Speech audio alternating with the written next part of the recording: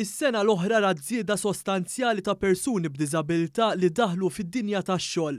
Fil-fatt, ċifri f'idejn one News juru kif is-sena li għaddiet 3,334 persuna b'abiltajiet differenti kienu jaħdmu fuq bażi full-time, filwaqt li 1,057 kellhom xogħol part-time.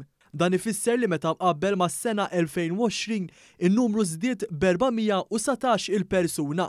Iċ-ċifri juri żieda pożittiva wkoll mis-sena 2015, hekk kif kien hemm 2,073 persuna b'diżabilità li sabet xogħol.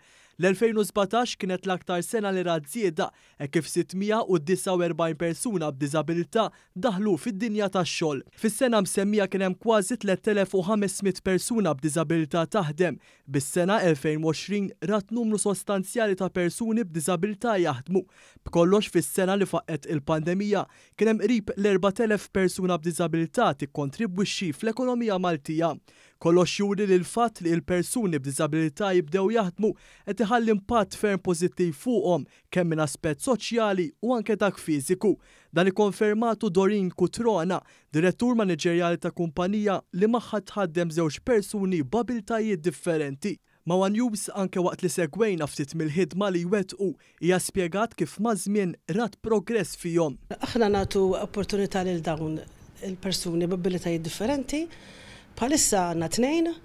Wieħed minnhom ilu hawnhekk sena u nofs u minn kif ġie sal-lum Il-progress deher ċar, integra ħafna u llum tgħallem skills differenti u jagħmel kull tip ta' xogħol kważi. Cutrone appellat ukoll lil kumpaniji oħra sabiex jagħmlu l-istess.